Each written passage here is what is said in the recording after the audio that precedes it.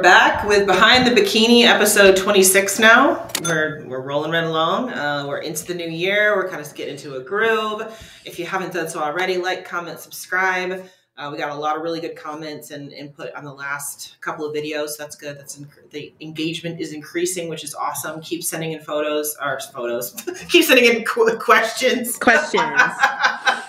questions topics. Yeah, questions, topics, things for us to clarify, all those kinds of things. Um, you know, again, as we get into the season, I think people start getting into prep and uh, and those kinds of things, and those questions start popping up more. So uh, there's no. I always tell people that there's no stupid question here. Uh, a lot of times it seems like it's, some, it's simple. It would be a simple answer, but there's actually uh, a lot more to it than you would think. So um, keep going with that. So. Uh, we are going to talk about training intensity today. Uh, we feel like this is a hot topic. A, we're, I mean, I know we're both trying to increase our training intensity personally, um, but also just on the whole topic of like videoing and, in gyms and Instagram famous, you know, fit fitfluencers and all those kinds of things. Um, what's the difference between being an actual athlete and a, and a fitfluencer, I guess, basically. And we're going to show you how to be different than a fitfluencer. so bodybuilder. right. So before we get into all of that, how's everything going with you? Updates and off season and all that stuff. Uh, pretty status quo. Nothing really crazy this week, which is nice. Um, mm-hmm. Yeah, just just training, just training, working. Um, yeah, a pretty straightforward week. How about you? I had the same thing. I mean, you know, since I was in Arizona, you know, all of my training has changed. So this was the first real full week. I still haven't finished the full week, but the full first full week of the new training, which is very different because I'm not used to having so many rest days.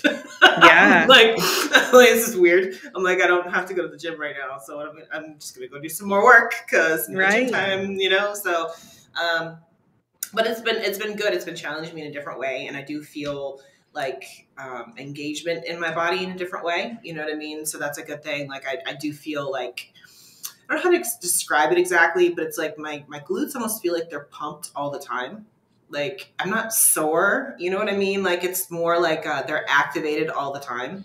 Yeah. like I don't know if that makes sense, but like even Definitely. when I'm doing my steps and my walking and like all that kind of stuff, I'm like, okay, I'm like I'm like hitting my glutes as I'm walking. Like when I'm walking my dog down the street yesterday, I'm like, all right, I'm like engaging my glutes while I'm walking, kind of thing. It's, it's yeah, it's different. It's weird, um, in a good way. I mean, you know, it's like it's like I said, I almost feel like I have a constant glute pump. I mean, that's the definition of true mind and muscle connection, right? And yeah. like getting in those deep, deep muscles and full lengthen and full contraction. And you become a lot more mindful when you slow down that way and you start feeling the different connections in the gym and whatnot. It, it does translate, you know, through mm-hmm. everyday life for sure. Yeah, absolutely. Yeah. So, so that's yeah, it's awesome. been a different, it's been a different kind of week. Um, you know, I've been walking my dog more because I got to keep my steps up. So the other thing is like where I really get my, my steps in most of the times I work from home is by going to the gym. So since I'm not going to the gym anymore, I'm like, all right, well, I guess I'll take Dolly for a walk. She's gonna lose a few pounds, so, so she's like going. She hates it. She absolutely hates it, but it, she cracks me up. I put I put uh, videos up from yesterday because she gets so excited when I get her leash out and everything like that. And then we start we start walking up the driveway and she's like, no, fuck this. she's like, no, we're done. So like I have to drag her up the driveway because the driveway's steep and then like she's she's pretty good when she goes down. And then we get around the corner of the street. She's like, "We're, we're still going. Like, why are we still walking? like, I don't want to keep. Why going. are we going on a walk today, mom? I know. She's like, I want to go home, and she'll just sit there, like, kind of stop and look at me, and I'm like, no, no. You no, get a carriage for her. That way, you can take her. But but she's no, she's got. She needs the she needs the exercise. That's the whole thing. Like, I need her out there moving. So I was like, no, we're gonna we're gonna go a little bit further every day. We're just gonna go a little bit further every day, and like we get to a certain point where we turn around and go back home, and all of a sudden she realizes we're going back home. And she starts sprinting. She's like, oh, we're going home. yeah, she wants to go home.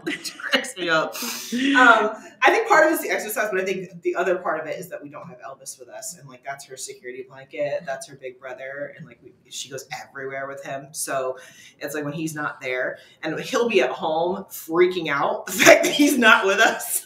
so, Why don't you take both of them? It's impossible. It's impossible. He's um, yeah.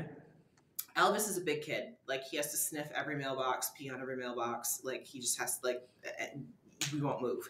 So Yeah. what I do is I get home and then I let him out into the front yard and then we go up and down the driveway for you know play fetch and all that kind of fun stuff so that he gets his exercise in too. But I can't take him on an actual walk. I've tried. He doesn't walk. He No. stops. no, he stops and smells things, or if he sees kids, he goes running after the kids. He loves kids, loves kids. So if there's kids, we're not moving. Like he's, there was one day where he we let him outside to go to the bathroom, and the kids were all going to the the bus stop. He was at the bus stop. Like he would have gotten on the bus and gone to gone to school That's so with the cute. kids. That's so cute. All like, it's Elvis. It's like, yeah, he's um, he loves loves kids, loves kids. Maybe so you take. Elvis on the walks to the bus stop every morning. Yeah, but then we don't get him to come home. That's the problem. True. That's True. the problem. Just send him come on the bus. They'll return him at the end of the day. True. Yeah, he, we uh, we always laugh because like he's he's gosh we don't, I think he's I want to say he's like eleven at this point, Wow. but you but you wouldn't know it when you when you let him outside. Like you think he's a puppy. Like he's just like he just goes gung ho. It's just, Mm. and he's and he's a big boy. Like he thinks he's he thinks he's Dolly's size, but he's 110 pounds.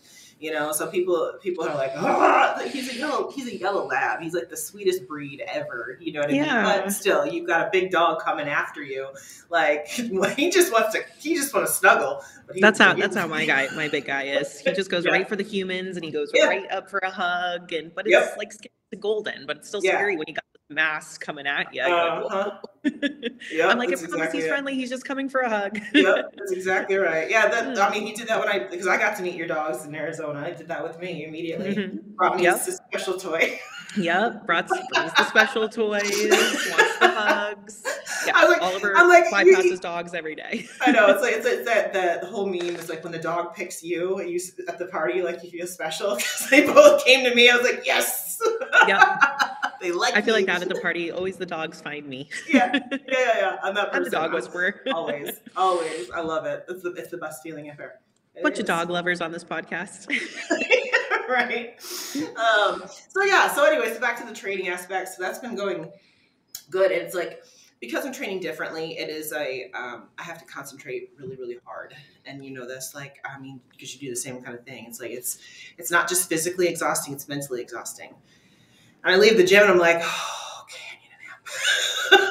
I need to lay down. yeah, it is, it is especially on glute days. yeah, yeah, yeah. you have to connect to every little thing, and it's so because I sent Drew a couple of videos of me doing the the couple of exercises. The one where I had a hard time connecting to was um, the leg on the on the bench, uh, RDL. Yep, the single leg RDL with the Yeah. leg propped Yeah. up. Yep. Yeah, because my legs are so long, I, I don't get a whole lot of bend because otherwise I start going into the wrong places. I go into my legs and all that kind of stuff instead of staying into my glutes and hamstrings and all that stuff. So it's funny. I was like, uh, by the time I got to the last rep of that, the last set of that, I was doing I was doing pretty good. But the first couple, like you can see in the video, that like a guy came around to the back to the cable behind me, and I completely lost it because my my concentration was broken, and I could just see my whole back bend and everything, and I'm like, oh, hmm. it's so it's so here, it's Yeah. so here, and I'm like, I could see exactly where I dropped it, I could see exactly where I lost my form, and it's because I was watching the guy or you know, on my peripheral vision go into the cable machine versus me versus paying attention to what I'm doing. You know what I mean? So Yeah. um, it's, it's, and that's where lot. people all the time they're like, you look so like intense in Yeah. your session. And, Yeah. and I am like, yeah. that's why get very frustrated when my headphones are on and people try to talk to me in the gym. It's not because I don't want to talk to you. It's because I am very focused on what I'm doing Mhm. um, and very intentional about what I'm doing. And as soon as that focus is broken, I lose all of it, you Yep. know? Um, And Mhm. people, you- guys will see my logbook here in a couple minutes for what I prepared for you, but people will get a logbook or, you know, a training program that Drew and I write, and there's only four to six exercises on there. And they're like, really? That's it? And I'm like, yeah. if you do it the right way, it should be challenging. Yeah. Um, so you're experiencing that now and more Yep. resties and needing the resties and things like that. And that is kind of the difference of like what I say mind to muscle connection all the time, but true mind to muscle connection is absolutely taxing and Mhm. If you're doing Yeah. it correctly. Yeah, like when I did the first set of the the static lunges, I was like, "Oh my god, my legs and everything are shaking." I was like, "I can't hold still." I was like, "I'm gonna fall over." And they take forever. They take Yes. forever because you're going so slow. yeah, you know, when people are going up, down, up, down, up, down, wait for 30 seconds, do it again, up, down, up, down, up, down, up, down. So, yep. you know, an exercise takes five minutes. Now this one is now taking 15 minutes. Correct. Yeah, exactly. Slowing that. Yeah. Yeah. And even just the, just the stretching, because I, I, mentioned to Drew, I was like, my stretching took like, took like 25 30 minutes to warm up. He's like, that's a little long. I was like, I was like, yeah, but I was, I was like, honestly, I said a lot of it's because I foam rolled a lot. My, my, you know, my hamstrings, my adductors, and all that stuff are very, very tight, so I foam rolled a lot. And I was like, I, I think once I once I get into that a little bit better, I said I don't think it will take quite so long, but it took me a while to just get warmed up. and I was like, yeah. okay, yeah, yeah, but like, and it's just, but also part of it too is like now that I get into that area and I can feel it, like it feels intense, but it feels really good when I finally can get stuff to release, and it makes a difference. I mean, again, I can connect to my to my glutes a whole lot better now than I could before, just because I'm loosening it up enough, and I can get in there, and I'm like, oh, okay, there it is. yeah. Yeah, so, I've, I've said the prep and prime work for me has been a game changer this season. So I'm, I'm, I'm a huge believer in that now for yeah, sure. Yeah. And on other aspects, um, I've started working with a handful of new clients and stuff like that with FitBody, which is awesome. Um, I it's I, I'm I'm trying to like it's not even the the program it's like going through and being able to use the actual like apps and stuff so i'm like i'm trying to teach myself how to do that versus relying on asking questions a lot because i'll learn better just from screwing it up basically. So I learn better by by like it's hard to go through that like trainer eyes and try to figure out where I'm putting things. You know what I mean? And I'm like, so now I'm like, okay, this is taking me a really long time to put this together. You know, we have a you know we have a coaching call today about. I know, I know. Yeah, I'm, I'm on it. Oh, trust Good. me, I'm on it. but like that was the whole thing. Like I want to figure out where I'm having problems first. You know what I mean? Like rather sure. than just asking, okay, where do I find this? How do I do that? Where do I? Yeah, of course. Where do I do that? You know, I, you know, Yvette did go through and, and do the training for me and stuff too. But again, it's like it's not until you actually get in there and start working on stuff that you start realizing, oh, this is this is I don't know, I don't remember what I just did. You know what I mean? Yeah. So I'm like, that's it's just taking a long time. But that's okay. I'm learning as I go. Um, and now I won't forget either. Now I won't forget where stuff is supposed to go and how it's supposed to be laid out and all that kind of thing. And I know it'll get easier once I get used to using it more. But um, just the little things you don't you don't think about, like taking extra time, you know. Um, but that's been fun. That's been really fun to be able to put together new programs and kind of get an idea of, you know, feeling. I, have been I've been having a good time getting to know the new clients and stuff too, because I'm doing the lifestyle stuff too, and it's been fun. So I actually really enjoy that. Um, uh, what else? Oh, I got my I got my period on um, yesterday. Oh wow, that's funny. I've been I've been cramping again. well, I was saying like because last month I was late by two days. This month I was early by two days. So just evened right back out. I was actually really happy about that. Pretty much all my clients early this month. I yeah. don't know if it's five week month or something last month. I don't know, but that's I don't know. but I'm normally like right on the 28 days, and you know, last month I was 30. This month I'm I'm 26. So I'm like, okay, well, averages just, out. Yeah, it just worked out. You know, and, and, that was you know coming out of out of show prep and stuff. That's something that I'm like I, I want to make sure that my, my hormones are level, and that's something that we that we figure out as we go along. I've mentioned that a thousand times. We did a posing clinic here in the DMV uh, this past weekend, the Victory and Posing Clinic. I saw that. That looked awesome. Yeah, it was a lot of fun. Um, you know, they do they split it up into days. So like uh, bikini, all the all the women's divisions were on Saturday. So I was helping with bikini.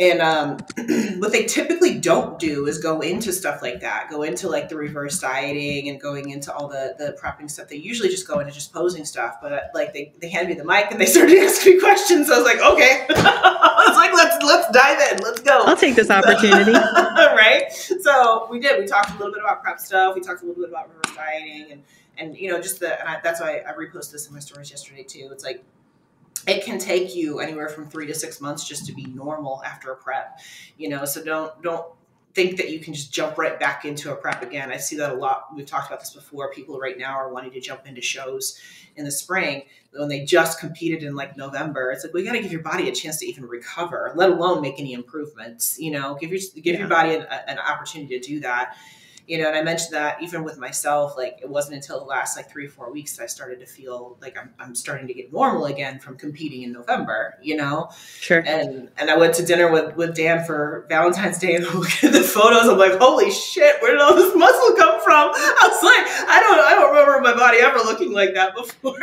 yeah. You looked amazing in that red like, dress. Holy crap. I'm jacked. I was like, it was, it's, it's, it's like a reality check. We talked about that sometimes. It's like you don't think about because you see yourself daily. You know what I mean? And it's not until you like look at photos or something like that, and you're like, holy crap. You know, in a right. good way or in a good way or a bad way. This was very much a good way. You know, I was like, I, I guess I am actually putting on a lot of muscle. You know what I mean?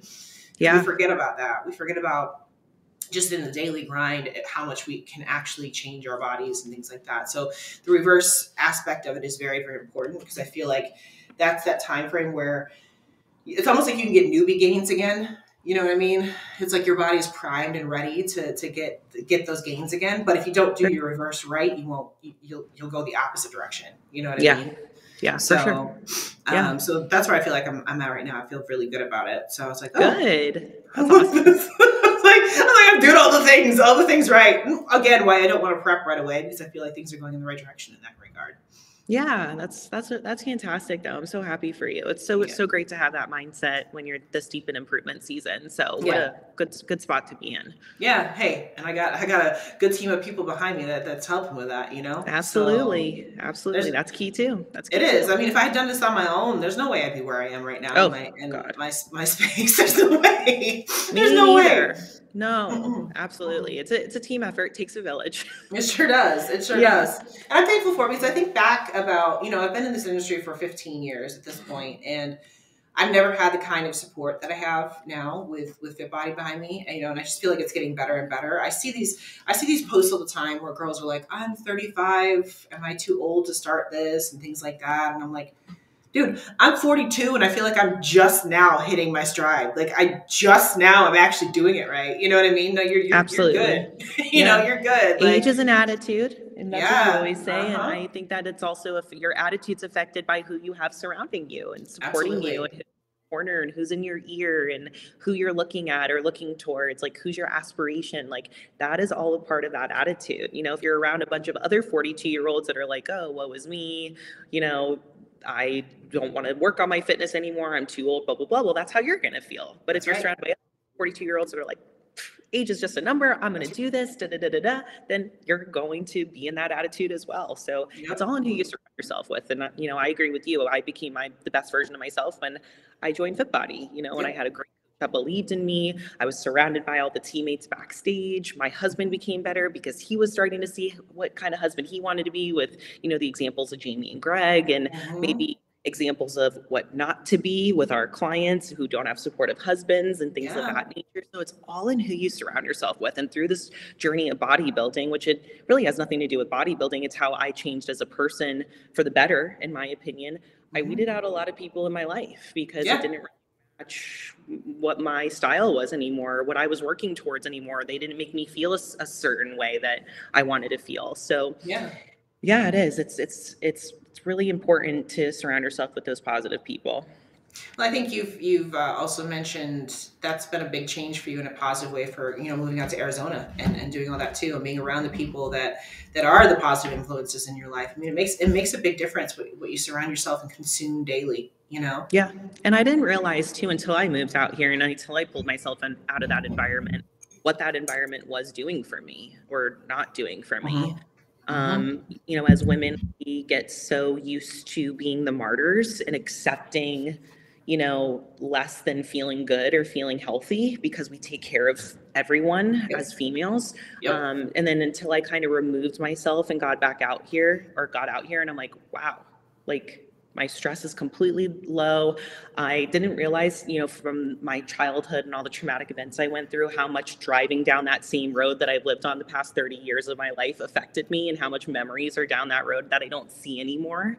Yep. So, you know, that, that, a feeling or that emotion tied to everything around me it's just not there anymore you know? So environment's everything. I just had a client check in with me yesterday and she was talking about how high her stress is because of her job. Well at some point you choose your environment. If That's you right. know that you hate your job day in and day out go choose a different job. You know and i'm not saying go pick up your life and quit your job tomorrow but you choose your life and you choose where to spend your time. And if That's right. something is is continuously worse and affecting your mental space and you know it's not going to get better you need to choose a different environment Mhm. Absolutely. I think Protect we get, that's right. No, no, no. I think we get stuck on that sometimes because we get comfortable in situations. It's like this is just what I've always known, so this is what I'm Mm-hmm. always going to do. And until you sit back and, like you said, just really evaluate where you are, you start thinking, is this really what I want to do? yeah Is this, is this really it? Is this really? Is Yeah. this like? There's other options, and there's no timeline on this stuff. Like we talked about, you know, ages and attitude. Well, so is what you do in life too. Like there's nothing out there saying that you have to be a certain thing or have to do it a certain way. You know, we talked about this with with me pivoting with my business and pivoting with now, you know, coaching clients and things like that.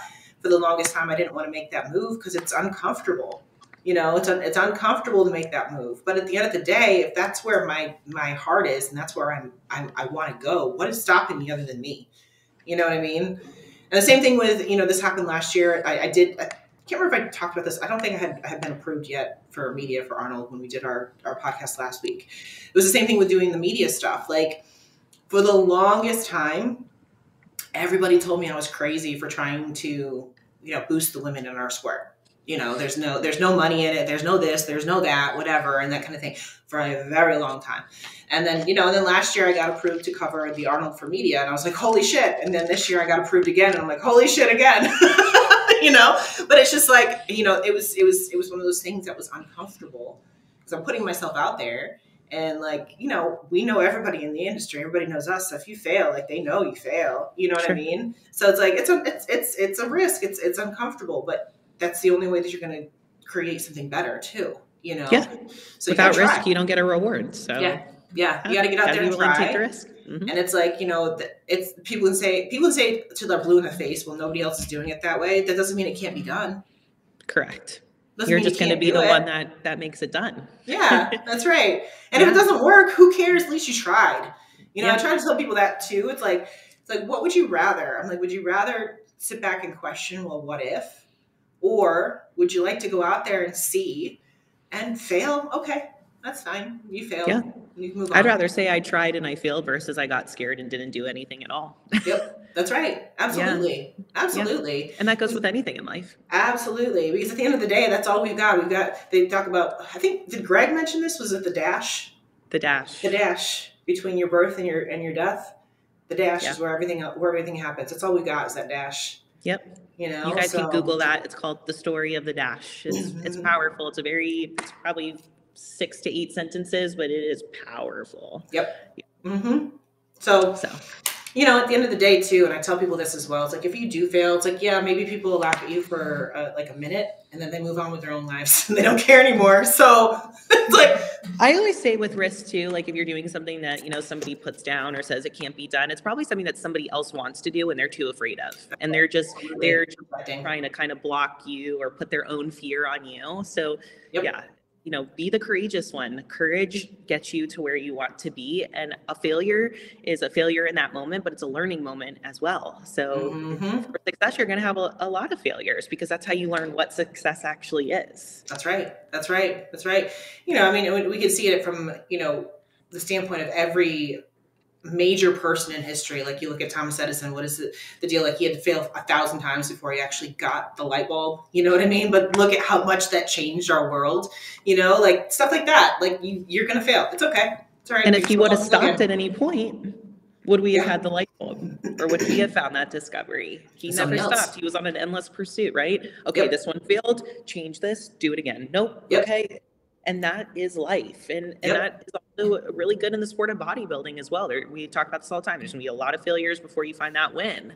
Uh, some people are lucky on their first, you know, few shows and they're winning, winning, winning. Yeah, great. But most people have to kind of climb up those ladders and learn, okay, this didn't work. I need to build here. Come back. Mhm. Okay, this now is better, but now I need to do that. And you just keep making those adjustments. Absolutely. Absolutely. So let's jump into the adjustments. All right. training intensity. For training, yeah. so the first thing we're gonna um, talk about is the reason why this is kind of a hot topic is I don't know about your gyms, you know, where you uh, frequent things like that, but a lot of the gyms I go to, we see this a lot where it's all about the selfies and the videos to go on Instagram and you see the trap pads all over the gym and all this kind of stuff, which in, inherently there's nothing wrong with that.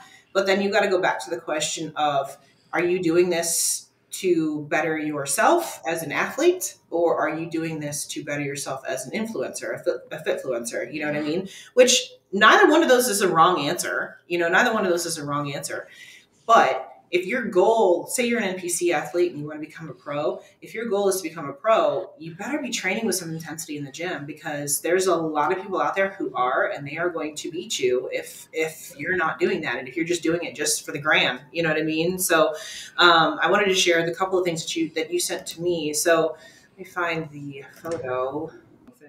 So before you pull that up, I mean that that is relative, but I want yeah. to talk about maybe what what you said, right? About the fit influencers versus okay. bodybuilding. So yep. there are so many times. So obviously, as a coach, with anybody that's on my team and Drew's team, I'm only going to speak about our teams because I, I know our teams. Um, mm-hmm. We build their training f- from them.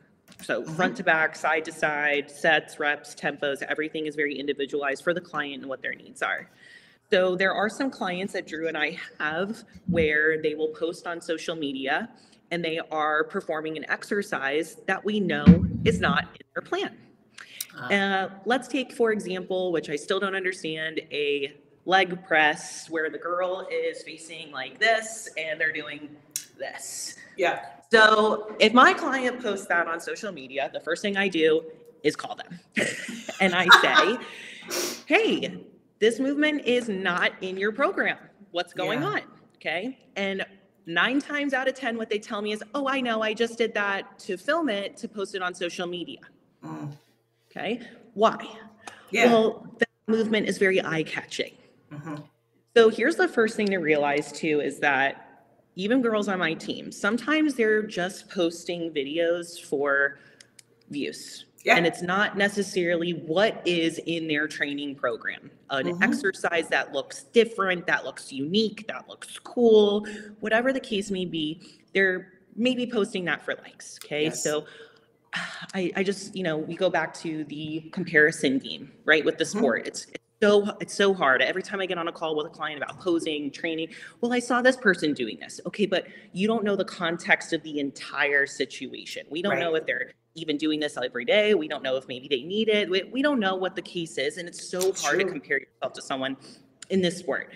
So that's the first thing to realize, I think, is like, you know, to me, the difference between a, a fit influencer and a bodybuilder, just to be very honest and transparent with you, that the bodybuilding, if you look at it, is going to look really boring. Yeah. It's going to look like meats and potatoes. It's going to look like the same movements. It's going to look like the mundane, boring day after day, week after week. That is bodybuilding. Yep. A fit influencer is somebody who's going into the gym every day, doing something different every day, every week. There's no kind of progressive overload. There's single leg, there's this leg, there's this leg up in the air, there's this arm in the air. I'm gonna hang from these ropes. It's it's eye catching. The mm-hmm. more sexy it is, it's probably more of that fit influencer. That's right. That's right. No, that's absolutely true. You know, that's that's that's a great point because it translates over to everything in our sport, not just training, but also diet, things like that too. You see them go out and they have these huge cheat meals. Okay, they maybe they maybe they have a bite and they don't eat it. You know what I mean? Stuff like that. You got to remember that that that what you see online, this is across the board. What you see online is not real life. It's not real life. So you may end up getting your program from your coach or something, and it looks boring, and you're like, "But this is not what so and so did." Well, you don't even know if so and so did that to be honest with you. yeah. Uh, you know, they probably didn't. They could be just doing something to, you know, maybe they maybe their trainer is trying to, you know, sell a program for beginners or something like that or whatever it might be. So they're the ones that are demoing it for their trainer, you know? Yeah. So they may not actually train like that. Exactly. You know? They may yeah. actually be, be the one doing that stuff. So just because they're doing a certain thing online does not mean they're actually doing that in real life. Yeah. Yeah. You know, and uh, we're going to show, I would like to show my logbook first, if you first, have that okay. photo up. Um, and when we get into that, so you know the thing to think about you know when i have learned how to train obviously everybody knows i graduated with my exercise science degree but i've been very clear that like when i graduated from there that was not the the most of my education i've learned my education from my my own findings and from being taught by really excellent trainers so I, I brought this up for you guys so you could kind of see this is my logbook. Um, so this was my shoulder A day that I actually completed yesterday. Um, I track in a logbook and I track in a logbook number one to get the hell off my phone because if I'm on my phone, I'm I'm distracted. I have lots of emails, lots of people kind of trying to contact me. So obviously you see here that it's written. Um, and I also just find it easier to like make notes or um, like if you see like some of the weights or the check marks are circled, that's telling me that's the same weight that I want to do next week. Like that okay. was good. I want to keep it here. Stars um, next to the letters mean that that was a PR for me that week. Okay. Um, and, and check marks just mean that it was the same weight uh, from the previous set. So as you see here on my shoulder A day, one, two, three, four, five, six exercises here. Okay. Um, what I want to show you guys is that my my A movement is always like a warm up movement, so really lightweight, just kind of you know getting things started, not really trying to progressive overload here. I am very big on progressive overload style training. Um, it's scientifically proven it works. I do not believe in that thought of you have to, you know, continuously switch the movements and the movement patterns so you confuse the body. to me, that's BS. Yep. Uh, your body is a machine, and it gets it gets more and more adaptive the more that you give it the same stimulus. It learns yeah. how to get that stimulus better and better and better and better. So, mm-hmm. um, my my movement patterns really don't change all that much throughout the year. What you'll notice though, when we go into the compound movements, so I have a standing overhead press here, but if you notice that I have rep ranges, so mm-hmm. five sets of six to eight reps. So what that allows me to do is it allows me to play with the weight and progressive overload. So let's take that last set, for example, because the last set you can theoretically say is your, is your last set, your heaviest set. So I did 37 and a half pounds. So I progressed mm-hmm. from 25, which I'm going to call like a feeder set or a warm up set, and I did 12 reps. And then I went into my working set. So I progressed from 35 to 37 and a half pounds, and I ended at eight reps. What I could do next week now to progress this is I have wiggle room in my rep scheme. So yep. if I wanted to increase the weight and then bring my reps back down to down. 6 mm-hmm. that's still a progression next week. Yep or if i made a note there on the side like i had like you know shoulder pain or you know eight was really really heavy or maybe i needed to even back down the weight because that last set was just terrible form i was moving my back and things like that i still have wiggle room to progress yep so this is where i like to use a lot of rep ranges within my training and my clients mm-hmm. training it gives them some more autonomy to be able to make better decisions yep. to be able to progress the workout and if you notice in a building phase obviously the reps are lower so yep. we're we're the, the highest rep scheme we get here is 12 reps with the cable frontal raises. Everything mm-hmm. else is really low. Do I believe in working till failure? Yes, absolutely. But here's the bottom line most females do not work till failure. Yeah. They are not working till true failure. True failure being you do not have one more left in the tank by the time that six or eight rep comes around. Yep. So with upper body especially i tell my girls all the time like you're going to have to get uncomfortable with asking people for spotting and asking mm-hmm. people for help in the gym um, or you're just going to have to be really really mindful of working up till two reps in the tank i feel like two reps in the tank is heavy enough but still safe enough that they feel yeah. like they can push heavy yep. um, this is a, a, really good example to me of like a perfect style of training if you notice it's just min- minimal exercises, but by the time this workout is over, and this workout took me 60 minutes yesterday, I was gassed. Yeah. Absolutely gassed because I'm making every single set intentional and yep. worth it. Well, that, and then also just to, to piggyback on this, because, you know, obviously my training is now set up very similar to yours because Drew did mine, but he took away all but one of my upper body days. So you have to remember, depending on who you are, I don't need to progress my upper body. I got plenty. so And I have two upper body days because right. I need to progress my upper body. Right. There goes oh, some balloons. balloons. whatever. Shit. I don't get it. so going back to the training intensity, I mean, he even mentioned in the notes, you know, I don't want you murdering yourself in this stuff. I don't want you annihilating your upper body because we don't need any more of it. You know, so it goes back to understanding that your training intensity doesn't necessarily need to be go to failure if that is not what you need to do for that particular body part. Like myself, I don't need to go to failure right now. I can, Correct. but it, it's not going to help me. It's not going to help me. I need to just keep my body where it is. And again, he didn't take it completely out because I don't want to lose my upper body, but at the same time, we still want to stimulate it. We still want to make sure that we're that we're keeping those areas full and round and all those kinds of things. But I don't need to grow it anymore. So you know, in order to to, to keep it where it is, I still need to challenge myself, but not push myself so hard where I'm going to overgrow it. You know. Absolutely, absolutely.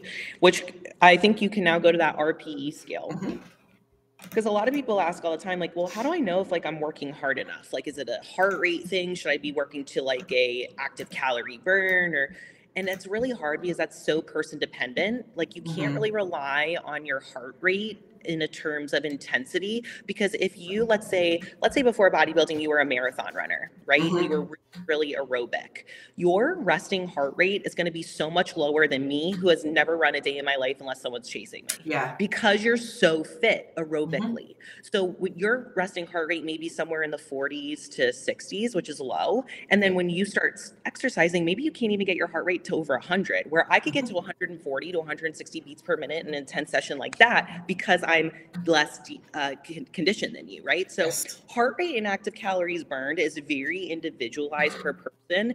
And if we're setting active calorie target and like somebody asked me off the cuff like what should my active calorie be for shoulder day um i need more data like i yeah. need like three to four weeks of data to be able to kind of tell you that yep. so if we bypass that completely this is called an rpe scale have you ever heard of a vo2 max test Yes. Mm-hmm. Okay. So yep. that's when you have like the um, mm-hmm. you have the mask on your face and you're on a treadmill and you're trying to find aerobic capacity. Yep. Well, when you're on the treadmill and they're trying to ask you how hard you're working, they obviously cannot speak. So they use this RPE test. So when the person says, "Hey, how hard are you working?" they can put they could throw up a seven or they could throw up a nine. yeah. yeah. And what this actually does is it, it actually helps the person gauge where their heart rate is as well.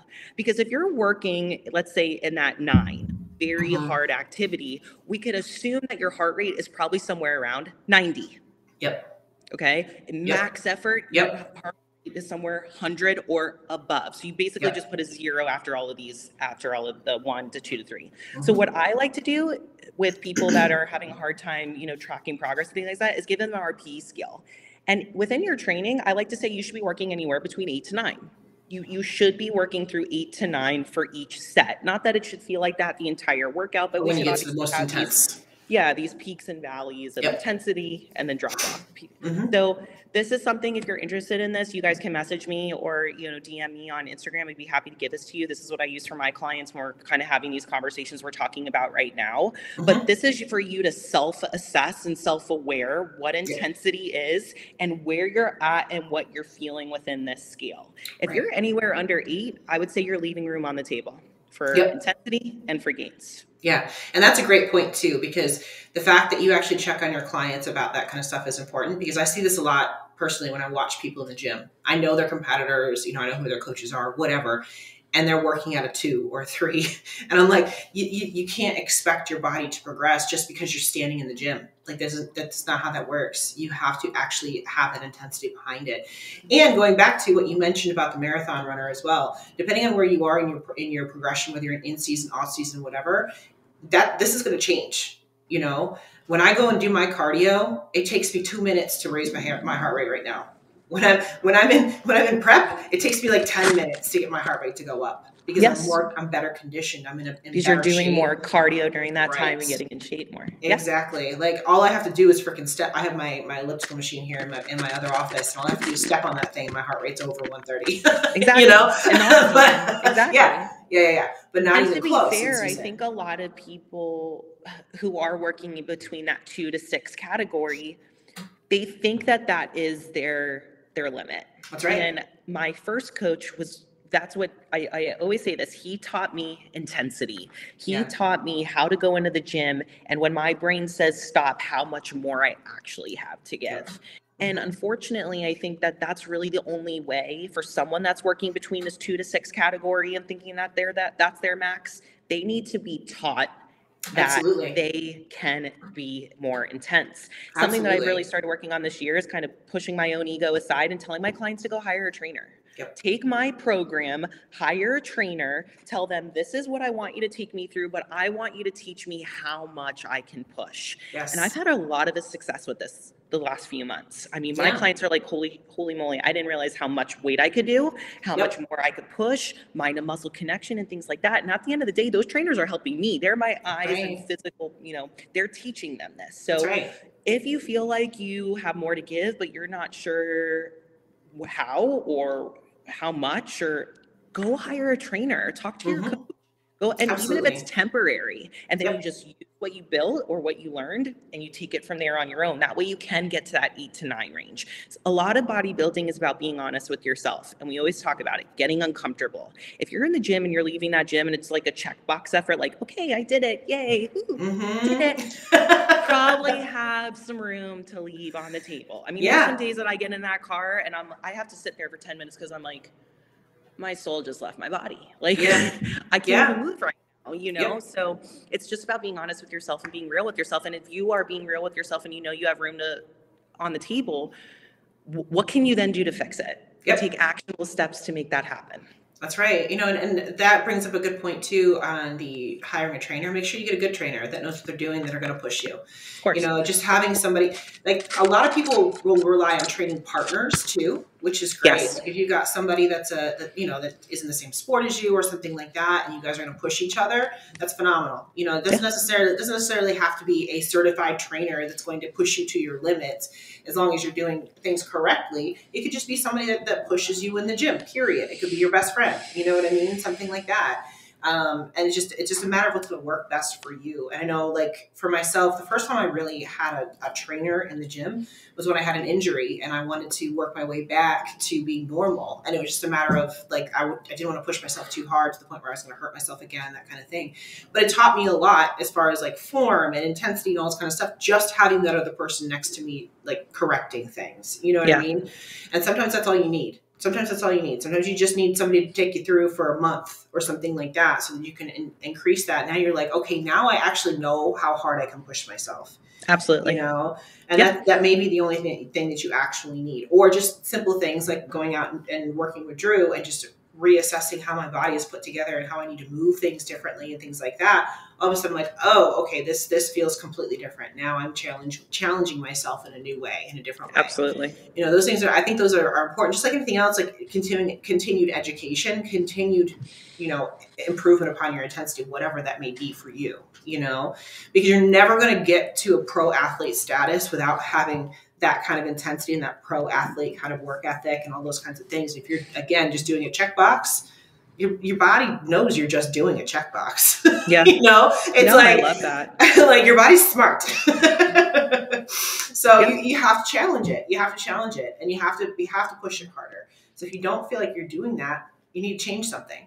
You need to change Absolutely. something. I mean, I've been doing this for four years, and every year my training is different. Tr- Mhm. Different in the way of the the thought process behind it. The same kind of exercises and things like that, but the emphasis behind it and the structure behind it has been different every year, and that's Yep. why I continue to evolve and change. Still at 32 years old in the Mhm. sport of bodybuilding, because I am so willing to put my own ego aside, ask Yep. for help, get a different resources, and try different things because not one way is the best way. Um, Absolutely. And if you're doing the same thing still after three years and then still commenting that you need more improvements, then I would argue that you need to do something different, right? The definition of Right. insanity, talk about that all the time. So, and that, yes, as, as a pro, like whether you're an amateur or you are a current pro, you should always be training like a pro with a pro mindset, Mhm. pro mentality. Mhm. You know, a professional bodybuilder walks into the gym every day, and that hour is their job. Right? Yep. So you have to think about like you're not answering emails when you're at, you know, in in, in a work meeting. You're Yeah. not talking on the phone when you're in a work meeting with someone or meeting with a client. You are very focused on that client. You're very focused on that connection and whatever you're doing in that time. And the gym should be the same exact way. If you want to mm-hmm. be a professional, treat the gym like a professional job. Put your phone on do not disturb. Have an outline and a plan. I find it very very like soulless and peaceful before I go to the gym, like putting everything in my logbook, making the intention of the mm-hmm. workout, what I want to do that day, and things like that. And that's planning for success, just like you would do in your own job. That's right, absolutely. And something else you could do too, because I think again, some of the times in this sport, what we do is what you mentioned at the beginning of this is we watch people on Instagram, YouTube, and things like that. One thing you can do is go outside of our sport, right? Go look at football players, go look at you know soccer players, go look at wrestlers, go look at these people that train with high intensity, that are actual athletes, and see how they train. You know, they they are freaking puking on the field at the end of, the, of practice. You know what I mean? That's a professional athlete Correct. you know that's professional athlete intensity Yes. if you're not if you're not doing that and you're just you still look pretty at the end of your workout I yeah. I don't. I don't know. I don't get it. i'm like i definitely don't look pretty at the end of my workout and i'll say Like this too like like you have to adjust too like i you know a lot of times when i go to the gym i try to bundle everything together so i'll do my training and then i'll do my cardio after well this past week when i was doing these new training programs with that that drew set up and stuff i was like there's no way i can do cardio after this i've only got 15 minutes of cardio but i was like no it's not happening I, i'm like i'm gonna have to do it tomorrow i can't I can never do cardio post workout. I was like, this is not not gonna work. Not gonna work. So you start restructuring so that you can put the intensity. And I'll tell you what too, this is the other thing as well. My my cardio intensity has been better this week because I haven't been doing it coupled with my pairing or coupled with my training. So it's you know, I've been doing it separately and I'm like, oh I can I can really push for the 15 minutes versus trying to put it all in one spot and be like, eh. And that's a good thing it. to know for prep too. Yeah. That's that I always do fasted cardio, not because of fasted cardio, but because that's when I can push the best Yeah. and then give me time to recover for my training later on in the day. yeah. That way Yeah. I'm giving hundred percent to both energy expenditure sessions. Yep. In prep, I know a lot of girls try to go back to back, but unfortunately one's gonna suffer over the other if they're back to back. Either you're gonna Absolutely. put hundred percent your lift, which I would prefer, and then Yep. you know, basic on cardio. But if you just structure your, your day around a little bit and you can give Mhm. 100% to both, get everything you need to be get done in the day, work, things like that, then you can get 100% out of everything. Yep. If you're willing to wake up a little bit earlier or stay up a little bit later for people that like to do late cardio, that, that's a really good point. I always split my cardio up during prep. Like Yeah. once I get over once I get over 20 minutes, I start splitting it. Because I, I know I can go intense for, for 20 minutes, but once I get past that 20, 20 minute mark, stuff starts suffering. So I know I have to split it up. I definitely suggest the split if that's what you need to do. Like if any, I, try to keep it all together, even if I'm at 60 or 90 minutes and I just do Yeah. it first thing in the morning and give it hard, hard, hard effort. And then Mhm. I have that time down and rest. I like knowing it when my workout's done because I go so intense, I'm done. Mhm. You Yeah. know, and and that's just it. Like here's two different people, two different pros, and they structure things differently, but it works for us. Yep. And what uh, uh, ultimately it's a mind shift at the end of Yep. the day, right? It's like what Mhm. does my mind, what can my mind handle? Yeah. No, I had know. somebody. I mentioned that I split my cardio up, and I had somebody in my um, in my uh, stories say, "But doesn't that defeat the purpose?" I'm like, "No, you're still burning just as many calories." I was Yeah. like, "You're still getting your heart rate up. You're still taxing your body just as much, if not more." Like you think about revving a car engine. The more you rev it, the more gas that you burn. You know, if you break it up, you're probably revving it a little bit harder. You know. Yeah, if you have a 40 minute session and 20 minutes of that of that continuous session is you doing minimal effort Yeah. versus 20 minutes of high to moderate and then another 20 minutes of moderate, I'd much rather that Absolutely. than just Absolutely. going through the. So split it Mhm. up however you need to. I tell people all the time, just split it up however you need to to have the maximum effort in each session that you can and show up your best every day. Not every day is going to be 100%. If, but mm-hmm. if you have 40% to give that day and you show up and give 40%, you're still giving 100% of yourself that day. And that happens in prep all the time. Not every day is going to be 100. There's going to be days where you have lighter energy, that your brain fog is high, that you're just in a bad mood, whatever it is, but just give 100% of whatever you have for that day. day. And that's still Yeah. a successful day. That's still Yep. intensity. Yep. No, I had somebody ask ask me about the training too this week because I, I mentioned how mentally taxing it is. She was like, "So, are you still gonna be able to do your training when you're done with with work?" Because I tend to I tend to do it at the end of once I've done all my my computer stuff, you know, and then I go train. And um, she's like, since you have to focus on it so much, I said, oh yeah. I said, I'd much rather still do it at the end. I said, because then I can put my full focus on it and my, my brain isn't diverted back to work. I was like, yeah, it's mentally taxing. I said, but, but at the same time, I'm like, if I do it in the morning, this is me personally. If I do it in the morning, I'm thinking about everything I have to do during the day. Absolutely. I said, I'd rather do it when I get all my work done and I can go focus solely 100% on my training and absolutely, I can still get it done that way. Mm-hmm. Yeah, yeah, for sure. So, for sure. Again, you got you, you got to know what, what works for you. You know, you got to know what what piece of this is going to make you stick to it. You know, um, and it's different if you're just in a you know we're not even talking about lifestyle, but you're different if you're in a lifestyle um, situation where you know th- this is just a matter of making you healthy. You know, for us, we're talking about pushing ourselves to the next level as professional athletes. It's different. You know, Absolutely. if you're yeah. if you're just trying to be a normal person, get it done when you can get it done. You know yes. what I mean? Yeah, this is not for lifestyle. This is right. for athletes for yeah. sure. Mm-hmm. Yes. Yeah. And I think it just ultimately what clouds a lot of the judgments like going back to the original thought is social media you know the comparison game um, you know top trainers within the industry that have come out over the last couple years making a lot of absolute statements and mm-hmm. yeah train like this and you have to mm-hmm. do your hip like this and unfortunately, I just feel like it really muddies the water, mud, muddles the waters in a lot of yes. ways. Where just take your hip thrust, a normal hip thrust, execute it the right way, and progressive overload it. Like Absolutely. it's really simple at the end of the day. If you really take it down into the simplistic thought of it, it's it's not about you need to be in absolute hip flexion and like people just try to overcomplicate things and I always tell people to go back to the business side when you hear absolute statements like that. If somebody's trying to sell an ebook or trying to sell mm-hmm. training or trying to sell something that they're selling, yep. I, I have a really hard time with that. So, you know, ultimately it's it's simple. It's taking it down to the very simpleness of find the exercises that work for you and that you need to build your physique. Mm-hmm the form and the mind to muscle connection, find good tempo work, and then slowly progressive overload from there. Mm-hmm. Each week, I do not make a PR on all of my lifts. Mm-hmm. That would be absolutely impossible. But yep. as long as I'm being honest with myself each week of, hey, I didn't increase weight or sets this week, but I still feel really, really good 10 out of 10 connection, mm-hmm. that's good for me. Yep. That's perfect. And the other thing, that's a good point that you just made there too. Like, depending on the space that you're in, we're in bodybuilding, we're not in strongman or powerlifting. No. Know? So absolutely. it doesn't matter. Doesn't matter how much we lift. Doesn't matter what our PRs are. That stuff doesn't no. matter. You know, no, what matters it's like not a strong form. competition. Mm-hmm. Of course, form. we all want to be strong, but that's not the goal of bodybuilding. So if mm-hmm. we're focusing on this goal, it is not. It does, doesn't matter how much weight you press. Yeah, aesthetics versus performance, which we talked about last week with the whole men's wellness thing. that's it. Aesthetics versus it's two, performance. It's two different things. It's two different goals. So yeah, because I get people ask me that all the time, like when it comes to. Um, wanting to go into bodybuilding, I don't lift that heavy. You don't have to. You don't have to.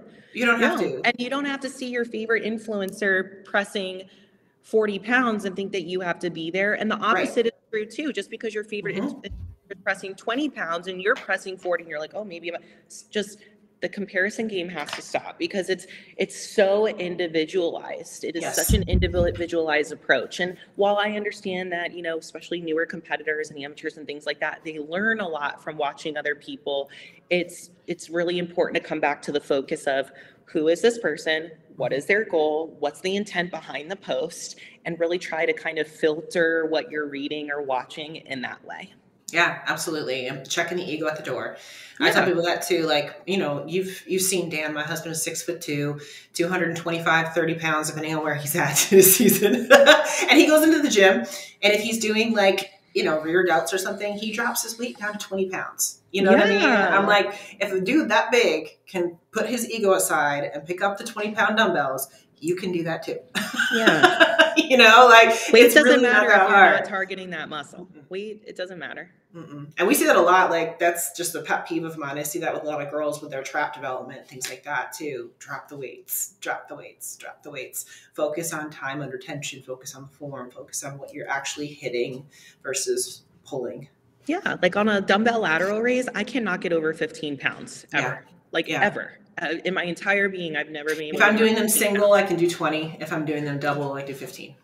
Yeah, I just can't, and that's okay. I'm still yeah. getting great lateral delt. And I've been told to stop to stop lifting my upper body. That's it, and I've been told to stop lifting my upper body because it's big enough. well, remember you did start in figure, so I did. And again, that goes back to genetics. You know, that goes back to what you're actually born with. I, the reason why I started competing in the first place is because everybody told me I had swimmer shoulders because I'm big, I'm big, built big up top. That's how I'm built. That's how I was born. So I'm going to train differently than somebody who has a hard time growing their upper body. You know what I mean?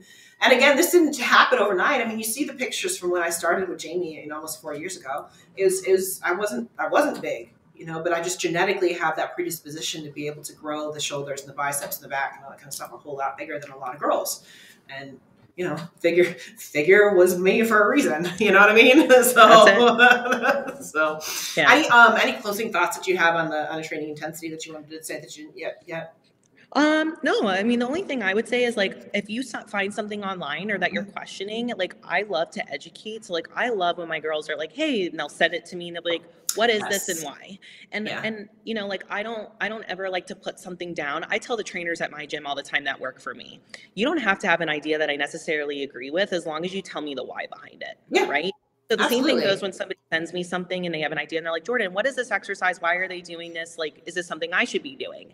And sometimes I'll be like, yeah, that is a good exercise. Let's go ahead and add that in. Or yeah, give it a try. Or I'll say, no, and this is why. I'm always yeah. going to have a why behind something. And I feel like every coach should, a, a good yeah. coach should. So if you're questioning something or if you find something online that you want to learn more about, send it to your coach and ask, you know, and learn the whys behind things. And I think that will only expand your knowledge into what your program is. And it allows you to really focus on your program and know that it's the right one for you. Or for some people, maybe you start to realize that your program maybe isn't designed the right way for you based mm-hmm. off what mm-hmm. you're seeing online, which happens a little bit, but happens. Um. So I think just having that open line of communication with your coach always with any kind of questions or anything, just to get that clarification so you understand the why behind things. Yeah. And I would say too, because that's the same thing that I did when I was doing my assessment with Drew. Like he asked me if there was any um, exercises that I didn't feel right or I didn't didn't like or whatever that were in my current program. We went through a handful of those. I said, I, you know, whenever I get to this specific exercise, I always swap it out because I don't like the way that it feels and I don't feel like I'm hitting where I'm supposed to be hitting. He's like, okay, cool. We don't have to do those anymore. You know, that kind of thing. So there's nothing wrong with questioning stuff. Again, going back to, or like there was another one I said, I was like, I don't think I'm quite hitting this one right. It's not feeling right. He's like, well, let's do it this way so that you know you're hitting it in the right spot. You know, yeah. okay, cool. Awesome. You know, now we can keep doing that. So yeah. you know, there's there's ways to um, to communicate those kinds of things too. You know, yes. just, just ask. yeah, and a coach shouldn't be threatened or mad when you no. say, "Hey, a B stance doesn't work for me. I feel it all in my back. I've done everything yeah. you said. Can we just get this switched out? Absolutely. Yeah. It's not for everybody. So if you, mm-hmm. just like you just said, Jashawn, if you're seeing that something on your plan that your coach gave you and you're skipping it, or you know you're supposed to be feeling it in your glutes and you're not, just ask them to substitute it out. There are so many different exercises that you could be doing. So absolutely, like make the most of your training. And we only know as coaches based on your feedback how to adjust the plan. So like if yes. you're just skipping something and you're not telling us that something doesn't feel right well we don't know that. So we don't know how to help you better. So just keep communicating because we've talked about this. Training and bodybuilding is very very important. So this yes. piece and this communication with your coach is highly important. That way we can keep making adjustments each week every six weeks whatever it is to make sure that you stay in the program and progressing Absolutely. All right, cool. So let's go through two user questions before we finish out for today. Let's jump into this one because I think it kind of relates to what we were just talking about. So this was the question was I'm a beginner and I have to put on a lot of muscle. Is it realistic to build at 10 pounds up from my stage weight? So basically they're asking, can they stay within 10 pounds of their stage weight if they have to put a lot of muscle on?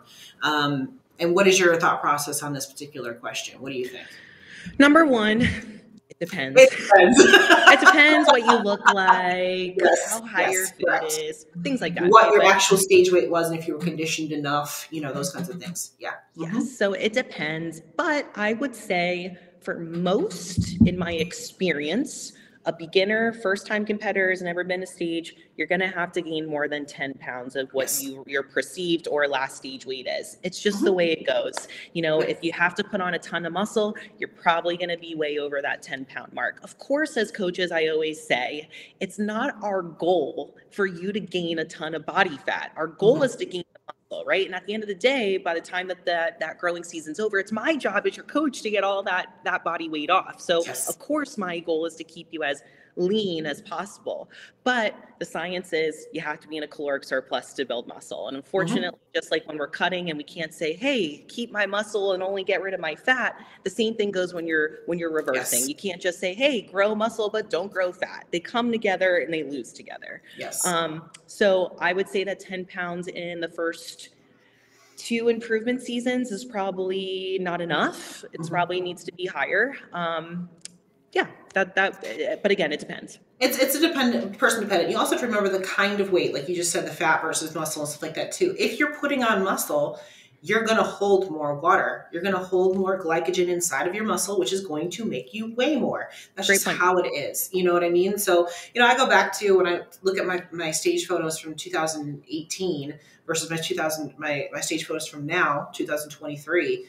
I was 10 pounds heavier on stage so you know you, you got to remember like that that that equates to a lot of weight when you're off stage, and that's somebody who's been in the industry for 15 years. That's not Correct. a newbie. This is not a newbie, right? So again, it's person dependent. I'm also five nine. I'm a big girl, so I'm going to have to put more size on in general anyway. So I agree with you. I think I think just putting out that blanket 10 pounds statement is dangerous because then you start feeling like you're failing failure if you're going over it. Yeah, I, I, I know like I did. Failing. Yeah, I did. My 1st mm-hmm. two seasons as an amateur, I was confused when people would say you shouldn't be 15 pounds up from stage weight, and here I was sitting at 25, and I'm like, yes. and I'm only growing more, you yes. know, and it made me feel like I was doing something wrong and a failure, but it, I wasn't. It's just That's what right. was needed time. That's right. So yeah, I, I agree with that. I, I, have a really hard time with that. I talk about with that with Celeste all the time. You know, uh-huh. these absolute statements from coaches of you need to be this X amount a pound over stage weight. Everybody's so different that way. Yes. Like it's it's it's so hard to say that. And I don't really think that is. it's a failure. You're 20 plus pounds over stage weight if the if the goal is still in mind and we're exactly exactly yeah. and and you know off seasons too jamie jamie and i have yeah, keep talking about this. Off seasons are just about the mental flexibility as it is the physical flexibility. It's about being able to go date your spouse again and having moments of saying yes. And th- you have to have balance in this sport, or the longevity of the sport is going to run out for you. Absolutely, you're going to be so burnout. And so the coaches that make you stay, you know, in this box in the off season, I feel like that causes more mental stress. Absolutely. And long term, um, you know, body dysmorphia and issues and things like that. I mean, I hate to say it, it's almost like a controlled eating disorder. Absolutely. Yeah. You know, yeah. It, but it, it is. I mean, it's, it's, a, it's a disorder at the end of the day, you know? And, and uh, again, going back to some people thrive in that environment. So again, this is Absolutely. all person, person dependent. This is all yes. person dependent, you know? So that, that's fine. But I'm just saying, like, if you are mentally stressed out, over going and having dinner with your husband or your wife or your kids or whatever, that's a problem. Something's up. Absolutely. Yeah. yeah. So I think if you're over 10 pounds up from stage weight as an amateur, you're probably doing the right thing. Yeah, absolutely. Yeah. I know for me, like as soon as I, again, as soon as I start eating more, my muscles fill back out, I'm up, you know, six, seven, eight pounds within two weeks. Yeah. So if I was trying to stay that, that, that spot in that spot for, I've had years of off seasons, there's no way. There's no way. And I look back at that and I'm like, man, I'm so lean yeah. again, I and I'll tell you, so lean. Yeah. And I'll tell you guys this too, because I know this for a fact. Me, myself, and three other of Jamie's pro Olympians, I'm not going to name names because I don't obviously have their consent. We are all 15 to 18 pounds up from our stage weight. So mm-hmm. they've all come into town, they've seen Drew, they've done training. Mm-hmm. Obviously, we're like, hey, like, how much do you weigh? Like, things like that. We are all sitting in our off season 15, 18 pounds up from stage weight, but we're healthy, we're all growing. All yeah. of us are growing all of us feel this mental flexibility. All of us are married, so we're, you know, having more date nights and stuff with our husbands. So that way, when Jamie goes, hey, we're dropping the hammer on prep, we can then go back, yeah, back into that mental focus. Mode. Absolutely. So Absolutely. here we are as pro Olympians, not 10 pounds up from stage weight. We're right. much higher than that. So yeah, absolutely. So, you know, again, we always go back to it's person dependent. It, there's always a it depends factor there, but you're not failing if you're over 10 pounds. You're not. No. No. You're not failing. Okay. For, Great for a lot for a lot of people, you're failing if you are staying within 10 pounds. so yeah. you know what I mean? If, especially if you gotta put weight on. Like if you gotta put size on, you gotta put size on. Yeah. you know, you need to put size on, you don't have a cycle back. How does your lab yeah. work? I, you know, yeah. As well. Yeah. Like I said, like it depends. There's yes. so much more. There's always a, it depends, but yeah, great yes. question. Absolutely. So good, good question. Um, and then the second question I was going to pull up for this week was uh, best methods to reduce inflammation from hard training that week, other than just rest. What's what's some very relatable. Ways? Very, yeah. very relatable. Yes. Yeah, so obviously rest, duh. Mm-hmm. Um, yeah. But what are some things that you could be doing, you know, on your rest day or even just to help with the inflammation? There is a ton of research out right now about cold plunging. Um, I hate it myself. Um, Just yeah, fuck that. I, I have one in I have one here in my home. Um, I it, it, it, makes me feel like I'm suffocating, which is yes. one of my one of my fears. So. But there's so much research around Dan it. does it. So Dan takes, we call it Wuzus. He does cold showers every morning. And not only Greg does he do that. cold, yeah, not only does he do cold showers, but now he's got like one of those laundry bags that he puts ice inside of the laundry bag, puts it up on the shower, and showers underneath the ice. I'm like, what is wrong with you? yeah, but I mean, the research is there, so he's he's doing it. But I mean, it does like this CNS reset, and then obviously we, have known this for years. Ice is good for any kind of inflammation, right? Oh, you mm-hmm. sprain your ankle, put your ankle in a yep. in an ice it. Oh, you have this, put ice on it, right? So there, it's, it's it's been a, a, a well-known thought. So yes, cry, cryo, I don't really like, and everyone that I know that does it, they're like, I don't really know if I see the benefit, but the cold plunge, it definitely works. Mm-hmm. Um, but other than that, I mean, just staying on top of recovery. So like, I'm a really big fan of body work, um, yep. lymphatic Same. drainage within your yep. body right? If you notice, I always do uh, strokes up to the lymph nodes, which are in your hips and armpits, throat, things like that. So they're always constantly, you know, getting that lymph out. Um, and then like having a Theragun at home is something yeah. really simple that you could do just to help in between those sessions. I, do, I have my Theragun every night. I just kind of roll it over my glutes, my shoulders, things like that. Um, but it's just about recovery. You know, foam rolling is really good for that as well. So staying on top of stretching, and any kind of recovery services that number one you can afford but number two staying disciplined with them and the more you do them the better and better your body's going to feel going back to a couple things you just said, lymphatic massage. I actually have done those the week of a show. Like I know it's not, a, yeah, it's not a good idea to do full on massages uh, because you can bruise, actually create inflammation, those kinds of things. But I do the lymphatic, especially if I'm having a hard time going to the bathroom the week of the show. That will really help to release some things. So that's something you can do there. Um, I do lymphatic you, drainage for my tie-ins. Yeah, yeah, yeah, Like literally, yeah. they they yeah. kind of do a little scraping, and then like mm-hmm. you know, and then they kind of get my tie-ins released, especially you know your prep, inflammation, cardio, yeah. things like that. So if I end my cardio Wednesday, Thursday, I'll get a lymphatic drainage on Thursday, Friday before show. I've seen some good success with that too. Nice. You got to find a good professional for that. Right, they know what they're doing. Yep. Yeah. Um, that um, red light therapy is another one. I have a, a, I have a, a red panel in my in my bathroom. I use that three times a week. Um, it's really good for collagen produ- production, things like that too, for your skin and everything as well. Um, magnesium, Epsom salt baths, uh, things like that help too. I do Epsom salt baths at least once a week, if not more, depending on how much time I have. I think one of the biggest things that people mess up with the with the Epsom salt is they don't do it long enough. You need to be in the bath for at least 25 to 30 minutes. I stay in the bath for about 40, 45 minutes um, in order to get the full the full drainage effect from it. Um, some people sit in the bath for like 10 minutes. It doesn't actually do anything for you. Um, that, um, all the stretching things that you mentioned. There's something else I was going to mention too, and I can't remember what it was. Oh, oh, compression. Um, compression therapy. Yeah, yeah, yeah. I have compression boots. Those work yes, really I love those. well. I love yeah, my, I have hard time with my, my feet, my calves and stuff from posing, you know, wearing your heels and things like that. Compression boots, huge, huge thing. You can get those and freaking sit, sit on your couch, watch TV, you know, and we're good there's with that. A, there's a lot of recovery tools that people have access to. Yeah. I mean, it's really easy now to to have recovery at home if mm-hmm. if, if you want it. Mm-hmm, absolutely. Yeah.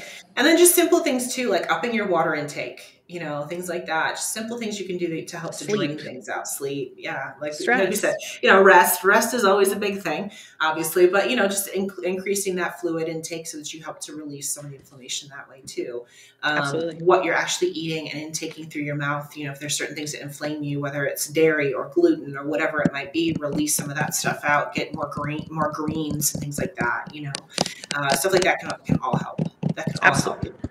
Yeah, that's a great point about the diet. I literally just responded to a check in yesterday, and somebody was like, I just started prep and you, you didn't change my macros yet, but I just changed my food groups around. So they're just doing like more Mm. cleaner foods and they feel so Mhm. much more energized and Mhm. less inflamed. And your Mhm. gut is such a big proponent of how you feel and, and every other factor of life, your inflammation, your energy, brain.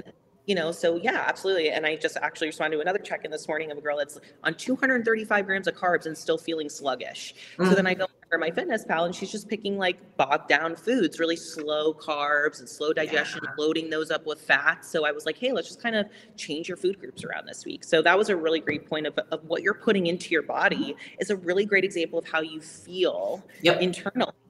Yep. Look up the um they can look up the the FODMAP diet too. So that Yes. That's having to do with inflammation and all those kinds of things too. So if there's things on there that that make you feel inflamed, cut them out. Stay away from them. Cut them out. You know, little things like that. Um, anything else? Anything else you can think of?